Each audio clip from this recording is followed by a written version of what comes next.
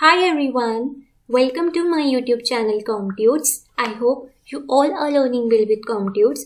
So this is tutorial number 6 of business studies for class 12 and in this tutorial we are going to study about management as a profession. इससे पहले वाले tutorial में हमने discuss किया था management as a science and management as an art ये हम already discuss कर चुके हैं। अगर आपने ये वाले ट्यूटोरियल्स वॉच नहीं करे हैं तो आप इनको प्लीज़ ज़रूर वॉच कर लेना, ठीक है? एंड आज हम डिस्कस करने वाले हैं मैनेजमेंट एज अ प्रोफेशन इसके बाद आपका जो नेचर ऑफ़ मैनेजमेंट वाला टॉपिक है, वो कंप्लीट हो जाएगा, ठीक है? तो चलिए पढ़ते हैं management as a profession management as a profession समझने से पहले हमें ये पता होना चाहिए कि प्रोफेशन होता क्या है। ठीक है?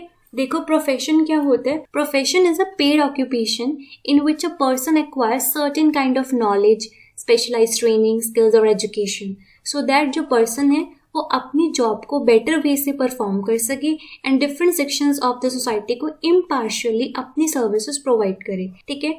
जैसे कि डॉक्टर है लॉयर ठीक है? टीचर्स होते हैं या सीए है ये सब क्या होते हैं? ये सब प्रोफेशन होते हैं, ठीक है? पेड प्रोफेशन है, अपना काम भी कर रहे हैं एंड साथ के साथ सोसाइटी को भी सर्व कर रहे हैं, ठीक है? अब एक प्रोफेशन में मेन चीज़ क्या होती है? अगर आपको किसी भी प्रोफेशन में जाना है तो उस पर्टिकुलर प्रोफेशन में जाने के लिए what you need you need to acquire an specialise kind of knowledge ठीक है? You need to acquire specialise training skills और education in that particular field तभी आप उस प्रोफेशन में एंटर करते हैं। ठीक है? सो प्रोफेशन होता क्या है? इसका मीनिंग क्या है? Profession means it refers to that economic activity अब यहाँ पर वर्ड क्या आगे है? इकोनॉमिक एक्टिविटी जहाँ पर इकोनॉमिक एक्टिविटी वर्ड आ जाए, जहाँ पर इकोनॉमिक आ जाए, वहाँ पर उसका मतलब क्या होता है? अर्निंग मोटिव ठीक है? इकोनॉमिक का मतलब ही क्या है? अर्निंग मोटिव तो वो एक्टिविटी जिसका मेन मोटिव क्या है? अर्न करना, पैसे कमाना, ठीक है? So which is conducted by a person कौन कंडक्ट कर रहा है person having some special knowledge and skill जिसके पास उस पर्टिकुलर फ़ील्ड में special special kind of knowledge है स्किल्स हैं, ठीक है which is use impartially to serve various sections of the society यानी प्रोफेशन क्या है? प्रोफेशन एक पेड ऑक्यूपेशन होती है।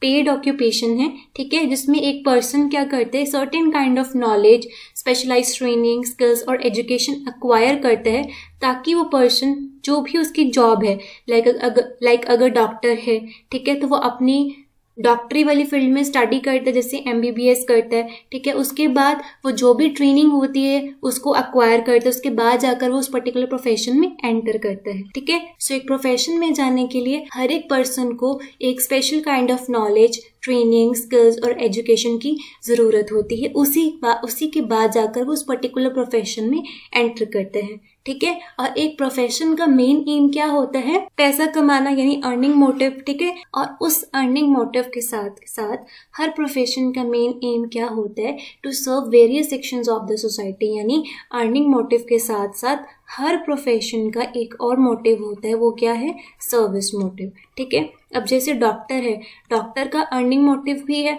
और सर्विस मोटिव भी है, ठीक है? सर्विस मोटिव क्या है कि हर पेशेंट को अच्छे से ट्रीट करना और उनको ठीक करना। सिमिलरली लॉयर का मेन सर्विस मोटिव क्या है कि जो भी उसके क्लाइंट है, उनको जस्टिस प्रोवाइड करना। टीचर का मेन सर्विस मोटिव क्या है कि जो भी उसके स्टूडेंट्स है, उनको अच्छे से पढ़ाना ताकि उनका उस पर्टिकुलर सब्जेक्ट में इंटरेस्ट क्रिएट हो और उनके मार्क्स भी अच्छे आए। ठीक है? सो आपको यहाँ पर दो चीज़ें क्लियर हुई हैं, ठीक है?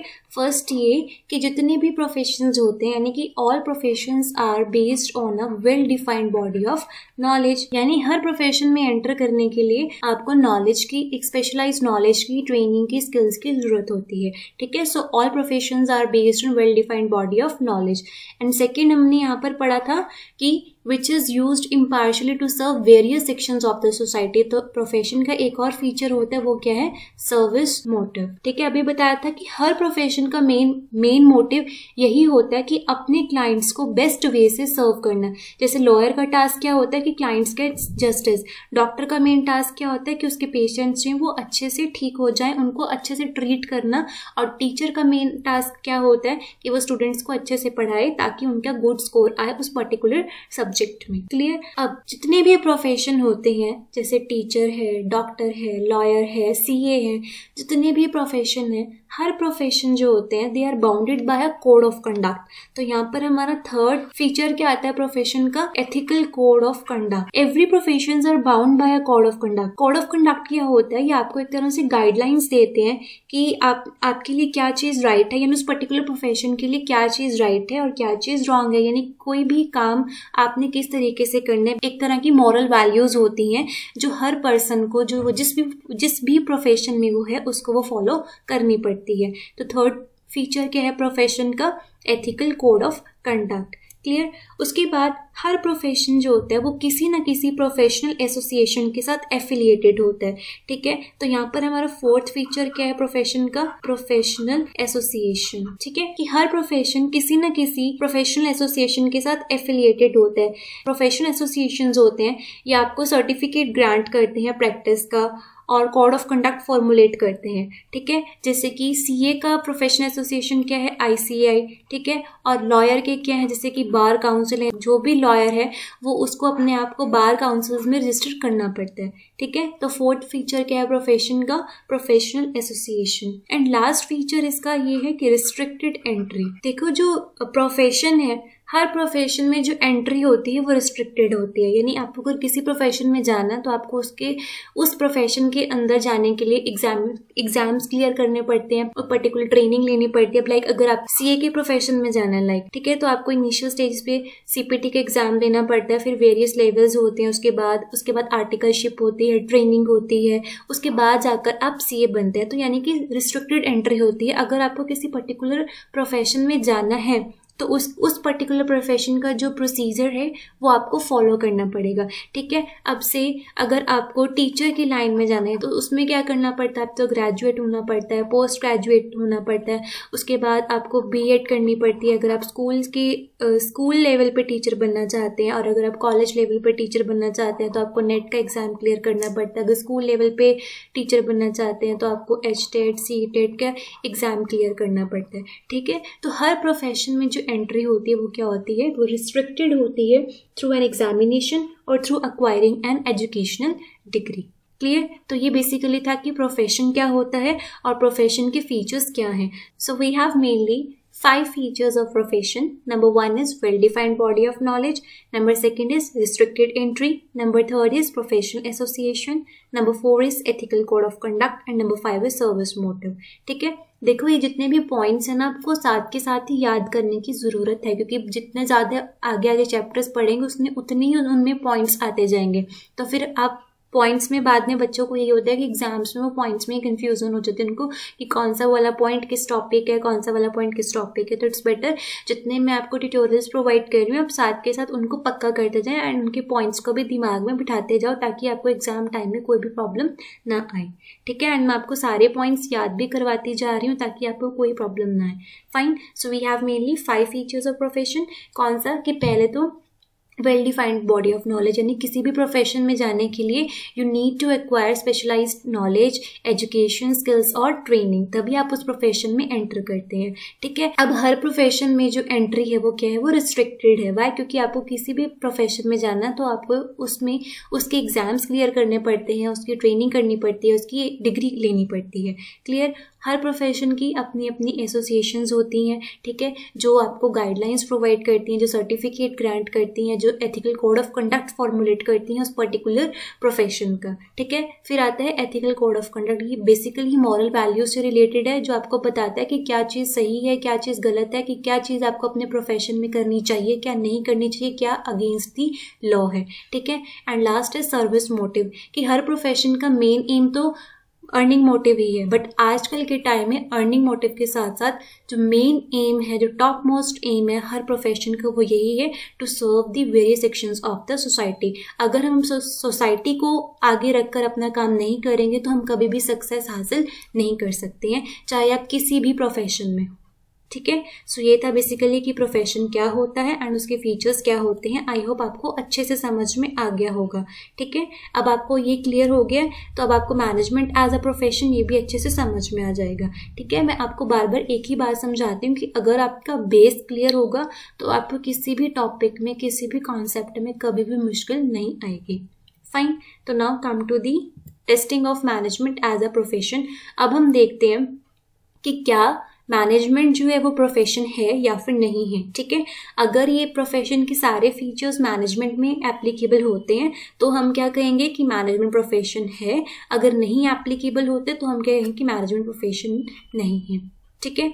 तो फ़र्स्ट फीचर क्या है प्रोफेशन का? Well defined body of knowledge ठीक है? जैसे कि जितने भी प्रोफेशंस होते हैं they are based on specialise body of knowledge similarly जो मैनेजमेंट है वो भी स्पेशलाइज बॉडी ऑफ़ नॉलेज के ऊपर ही बेस्ड होती है। ठीक है? जो भी मैनेजर होते हैं, वो मैनेजमेंट में एंटर करने से पहले special type of knowledge acquire करते हैं थ्रू डिफरेंट मैनेजमेंट इंस्टीट्यूट्स या प्रोफेशनल इंस्टीट्यूट्स ठीक है? जैसे कि हमारे हमारे इंडिया में सबसे फ़ेमस जो फ़ेमस जो मैनेजमेंट का इंस्टीट्यूट है, वो है आईआईएम यानी कि इंडियन इंस्टीट्यूट ऑफ़ मैनेजमेंट जो मोस्ट फ़ेमस इंस्टीट्यूट है मैनेजमेंट का।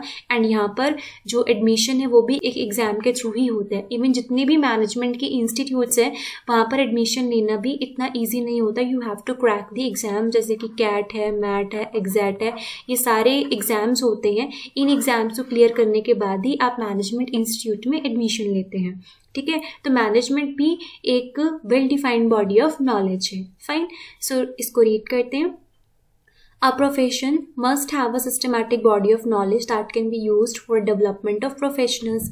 Every professional must make deliberate efforts to acquire expertise in the principles and techniques. Similarly, a manager must have devotion and involvement to acquire expertise in the science of management. This knowledge is taught at various institutes, colleges, and, and can also be acquired through books and journals. For example, the IIM is an institute aimed at teaching this management knowledge. Entry to different institute is usually through an examination. So we can say that कि management में ये जो first feature है profession का ये present करता है यानी कि management भी well defined body of knowledge है Clear? Now come to the next feature which is restricted entry. जैसे हर प्रोफेशन में एंट्री जो है वो रिस्ट्रिक्टेड है ठीक है बट मैनेजमेंट में जो एंट्री है वो रिस्ट्रिक्टेड नहीं है ठीक है सो इसको रीड करते हैं. The entry to a profession is a restricted through an examination और through acquiring an educational degree ये अभी मैंने आपको ऊपर एग्ज़ाम्पल में समझाया था. ठीक है? जो भी हमने यहाँ पर डिस्कस किया था, अच्छे से सारे फीचर्स यहाँ पे मैंने आपको समझाया था रिस्ट्रिक्टेड एंट्री वाला पॉइंट कि आपको ये तरह तरह के एग्ज़ाम्स जो हैं, जिस भी आपको प्रोफेशन में जाना है, वो क्लियर करने पड़ते हैं. ठीक है? वो डिग्री लेनी पड़ती है, वो पर्टिकुलर ट्रेनिंग एक्वायर करनी पड़ती है जिस प्रोफेशन में आपने जाना है.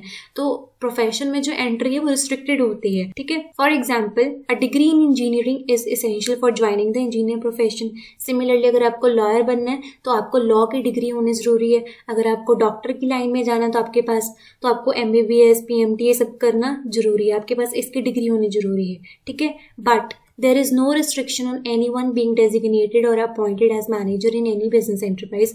Management में इस तरह की कोई रिस्ट्रिक्शन नहीं है कि आपको इस पर्टिकुलर चीज़ में डिग्री लेने की ज़रूरत है। हाँ अगर आपके पास मैनेजमेंट की डिग्री है तो आपको फ़र्स्ट प्रेफरेंस मिलती है, ठीक है? बट इस तरह की रिस्ट्रिक्शन कोई नहीं है, जैसे कि प्रोफेशन में है।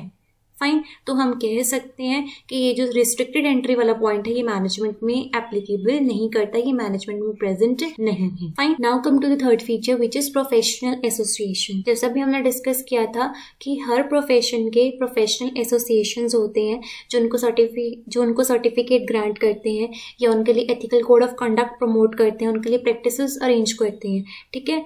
बट मैनेजमेंट में इस तरह का सच प्रोफेशन एसोसिएशन जो है वो मैंडेटरी नहीं है ठीक है? For all the profession special association are established and every professional has to get himself registered with his association before practising that profession for example Doctors have to get themselves registered with Medical Council of India, lawyers with Bar Council of India. Similarly जो CA होते हैं उनको register करना होता है ICI में ठीक है? In case of management management के केस में various management association are setup at national and international levels which have some membership rules and set of ethical codes for example A I M A in New Delhi A I M A है All India Management Association ये न्यू दिल्ली में है. Second है National Institute of Personnel Management at Calcutta etcetera but legally it is not compulsory for managers ये managers के लिए कंपल्सरी नहीं है to become a part of this organisation by registration जितना प्रोफेशन के लिए एक ज़रूरी है, उन पर्टिकुलर एसोसिएशन में रजिस्टर करना, एक मैनेजर के लिए ये ज़रूरी नहीं है कि वो इन मैनेजमेंट की जो एसोसिएशन है उसमें अपने आप को रजिस्टर करे, ठीक है? So on this basis we can say that management can not be accepted as a profession why because ये वाला फीचर जो है, ये भी एप्लीकेबल नहीं होता. Clear now come to the next feature which is ethical code of conduct ethical code of conduct क्या होता है? ये जनरल गाइडलाइंस होती हैं, जो गाइड करती हैं प्रोफेशन को या मेंबर को कि उन्होंने क्या चीज़ें अपने प्रोफेशन के दौरान करनी है या नहीं करनी है। बेसिकली एक तरह से मॉरल वैल्यूज़ होती हैं हर प्रोफेशन की, ठीक है? So all profession are bound by a code of conduct which guides the behaviour of its members her profession का कोड ऑफ़ कंडक्ट है, जैसे डॉक्टर है लॉयर है, ठीक है सी ए है टीचर्स है, इन सबके कोड ऑफ़ कंडक्ट हैं, जो इनको अपने वर्क के दौरान या इनको अपने जॉब जब ये परफॉर्म करते हैं उस दौरान इनको वो फॉलो करने पड़ते हैं एंड इनको अपना कोड ऑफ़ कंडक्ट जो है वो उनके अगेंस्ट जो है वो नहीं जाना होता। अगर वो जाते हैं तो उसके लिए इनको पानिश भी किया जाता है, ठीक है? बट मैनेजमेंट के लिए किसी भी तरह का कोड ऑफ़ कंडक्ट नहीं है, ठीक है? But no such code of conduct has been laid down in connection with management अभी तक मैनेजमेंट के लिए कोई कोड ऑफ़ कंडक्ट नहीं है, ठीक है? So we can say that कि ये वाला फीचर जो है प्रोफेशन का ये भी मैनेजमेंट में प्रेजेंट नहीं है clear and last feature is service motive अभी बताया था कि हर प्रोफेशन का मेन मोटिव यही होता है कि वो इम्पार्शियली हर सेक्शन ऑफ़ सोसाइटी को सर्व करे, ठीक है? तो सर्विस मोटिव प्रोफेशन में होता है। On the other hand management में भी सर्विस मोटिव होता है। कि हमने, जब जब हमने ऑब्जेक्टिव्स ऑफ़ मैनेजमेंट किए थे तो उसमें हमने पढ़े थे ना ऑर्गेनाइजेशन ऑब्जेक्टिव पर्सनल ऑब्जेक्टिव और उसके बाद तीसरा ऑब्जेक्टिव हमने पढ़ा था सोशल ऑब्जेक्टिव कि आजकल के टाइम में हर ऑर्गेनाइजेशन को सोसाइटी को सबसे पहली प्रेफरेंस देनी पड़ती है। वो चाहे जो भी गुड्स एंड सर्विसेज़ प्रोवाइड कर रहे हैं, उनको सबसे पहले यही देखना है कि ये क्या ये चीज़ें सोसाइटी के लिए सही है या फिर नहीं है। ठीक है? तो मैनेजमेंट का भी सर्विस मोटिव होता है, यानी उनको भी सोशल ऑब्जेक्टिव्स जो हैं ऑर्गेनाइजेशन ऑब्जेक्टिव्स के साथ के साथ सोशल ऑब्जेक्टिव्स भी फुलफिल करने होते हैं, ठीक है? तो ये वाला फीचर जो है प्रोफेशन का, वो मैनेजमेंट में प्रेजेंट है, ठीक है? अब इसको रीड कर लेते हैं। The main motive of profession is to serve the society the task of a lawyer is to ensure that his clients gets justice on the other side basic purpose of management is achievement of management goal ठीक है? Management का main purpose क्या होता है कि management के जो goals हैं यानी जो ऑर्गेनाइजेशन गोल्स हैं उनको अचीव करना। For example For a business organization, the goal can be profit maximization. But nowadays, only profit maximization cannot be the sole goal of an enterprise. To survive in market for a long period of time, a businessman must give due importance to social objectives along with economic objectives. अगर आज के time में कोई भी business सिर्फ़ economic objectives पर ही focus करेगा सोशल ऑब्जेक्टिव्स पर फोकस नहीं करेगा तो उसका बिज़नेस जो कभी भी ग्रो नहीं करेगा ठीक है? तो आजकल के टाइम में सोशल ऑब्जेक्टिव्स को फुलफिल करना उतना ही ज़्यादा इंपॉर्टेंट है जितना इंपॉर्टेंट है इकोनॉमिक ऑब्जेक्टिव्स को फुलफिल करना। फाइन तो ये वाला फीचर जो है प्रोफेशन का मैनेजमेंट में एप्लीकेबल है। ठीक है? So testing of management as a profession हो गया। नाउ कंक्लूजन कि क्या मैनेजमेंट प्रोफेशन है या फिर नहीं है। दो फीचर्स हैं प्रोफेशन के, वो फुलफिल होते हैं मैनेजमेंट में बट बाकी के जो तीन हैं वो नहीं होते, वो एप्लीकेबल नहीं है मैनेजमेंट में। सो हम कह सकते हैं कि जो मैनेजमेंट है, वो प्रोफेशन नहीं है। मैनेजमेंट प्रोफेशन नहीं है। Why because management satisfy some of the conditions for being a profession जैसे कि well defined body of knowledge और सर्विस मोटिव सिर्फ़ यही पॉइंट जो है प्रोफेशन के, जो कि मैनेजमेंट पे एप्लीकेबल है राइट बाकी के जो तीन पॉइंट्स हैं कौन कौन से ethical code of conduct restricted entry and profession association जो है, ये मैनेजमेंट में एप्लीकेबल नहीं है. So we can say that कि अभी अभी इंडिया में जो मैनेजमेंट है, वो अपनी इन्फेंसी स्टेज में और उसकी जो डेवलपमेंट है, वो स्लो स्पीड पे हो रही है। So right now we can we can say that कि मैनेजमेंट इज़ अ प्रोफेशन अभी हम यही कहेंगे कि मैनेजमेंट जो वो प्रोफेशन नहीं है। वाई क्योंकि वो कुछ कंडीशन सेटिस्फाई कर रही है और कुछ कंडीशन सेटिस्फाई नहीं कर रही है। फाइन तो इसी के साथ आपका जो नेचर ऑफ़ मैनेजमेंट का जो टॉपिक है, वो कंप्लीट होता है। आई होप हमने जो दो चैप्टर्स कंप्लीट कर लिए हैं यूनिट वन के ठीक है chapter one and chapter two chapter one introduction का था, जिसमें इंपॉर्टेंस फीचर्स ऑब्जेक्टिव ये सब डिस्कस किए थे। एंड चैप्टर टू है नेचर ऑफ़ मैनेजमेंट जिसमें management as a art science and profession discuss किया है। फाइन आई होप आपको ये दो चैप्टर्स जो हैं, ये अच्छे से समझ में आ गए होंगे। एंड स्टिल अगर आपको इनमें कोई भी डाउट होगा तो वो आप मुझसे कमेंट सेक्शन में मैसेज करके पूछ सकते हैं। फाइन तो अब उसके बाद आपका आज का होमवर्क क्या है? वो ये दो क्वेश्चंस हैं, ठीक है? इनके आंसर्स आपने कमेंट सेक्शन में लिखने और विद एक्सप्लेनेशन जो भी आप आंसर देंगे, उसका आपने रीजन भी देना है कि अगर ये वाला ऑप्शन है तो ये क्यों है? तभी मुझे लगेगा कि हाँ जी, आपको समझ में आ रहा है। फाइन और मैं सबके कमेंट्स के रिप्लाई ज़रूर करूँगी, यानी सबके आंसर्स के रिप्लाई ज़रूर करूँगी। तो प्लीज़ इन क्वेश्चंस के आंसर्स जो ज़रूर कमेंट सेक्शन में करना, मैं आपके आंसर्स का वेट ज़रूर करूँगी। फाइन तो स्टूडेंट्स आज के लिए इतना ही था। अब हम नेक्स्ट ट्यूटोरियल में डिस्कस करेंगे levels of management okay so I hope आज हमने जितना भी कर रहा है वो आपको अच्छे से समझ में आ गया होगा। एंड अगर ये ट्यूटोरियल्स आपके लिए हेल्पफुल हैं so please students do share your valuable feedback in the comment section and also do share my channel and my tutorial with your friends and your classmates too and also don't forget to subscribe my channel and please hit the like button and share this with your friends and your. Bye bye, take care, have a great day ahead, study smart and stay motivated.